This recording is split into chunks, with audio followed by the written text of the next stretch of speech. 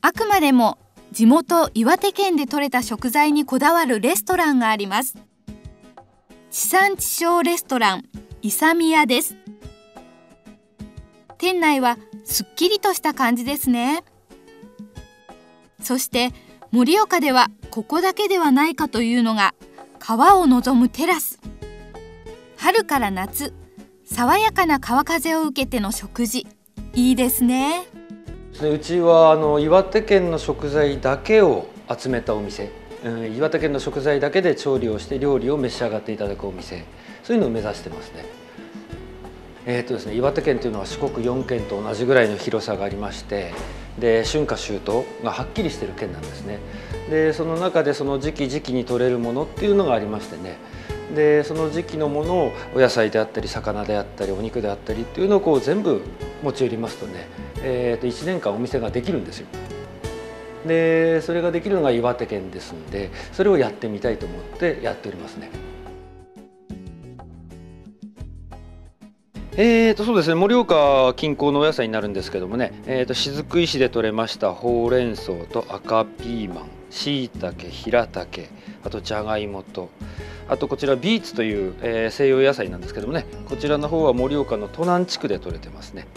それとお魚の方は今日稲田になるんですけどもこれは、えー、大船渡から直送で上がってくる朝上がったものですね。それが今日来ております。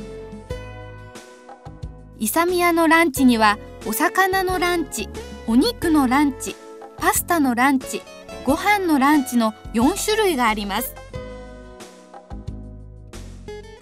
お魚のランチのメインディッシュは今朝岩手県内の港で揚がったばかりの生きのいい稲田のローストです。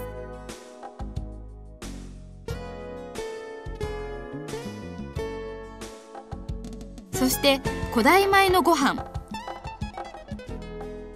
近郊で採れた野菜のサラダとスープがついています。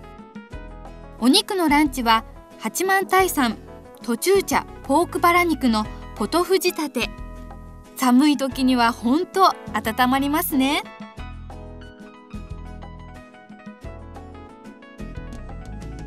パスタのランチは雫石産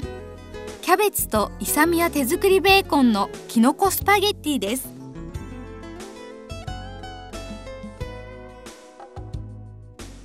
ご飯のランチは盛岡近郊野菜いっぱいカレーライス。野菜はみんなこの近くで採れたものばかりですこれが本当の地産地消というんですね